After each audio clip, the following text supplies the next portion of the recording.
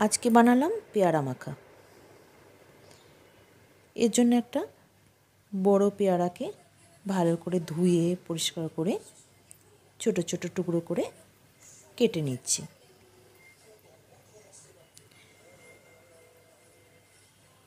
এই পেয়ারা মাখা, মশলা মাখানো এই পেয়ারা মাখা খেতে খুব ভালো লাগে।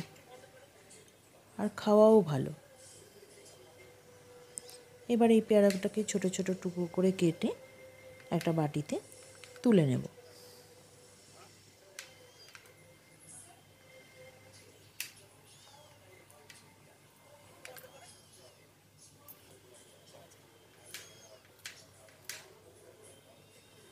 বাটিতে সব একসঙ্গে তুলে নিয়ে এবার ওর মধ্যে একে একে সব মশলা দেব। তার আগে একটা লেবুকে অর্ধেকটা কেটে নিয়ে রেখে দিলাম।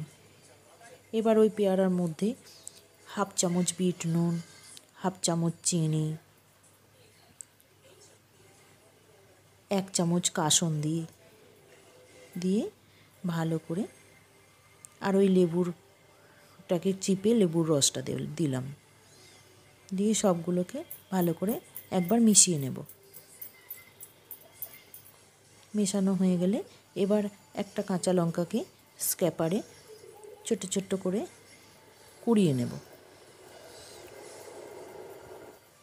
এবার ওটাকে দিয়েও আরেকবার মিশিয়ে নিলাম। মেশানো হয়ে গেলে ওর মধ্যে অল্প একটু লঙ্কা গুঁড়ো দিলাম দিলাম।